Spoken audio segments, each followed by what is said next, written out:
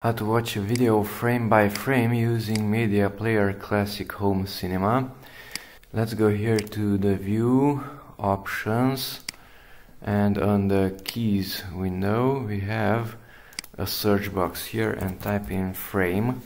And here we have frame step. Control and right arrow or control and left arrow is the hotkey well, if you want to modify that one, simply click inside there and press, let's see, the right arrow and go to the frame step back. Click there also and okay, once again, so that the cursor is moving and left arrow. Now click the apply button and now you can use the right arrow to go forward one step and left arrow to go backward one step.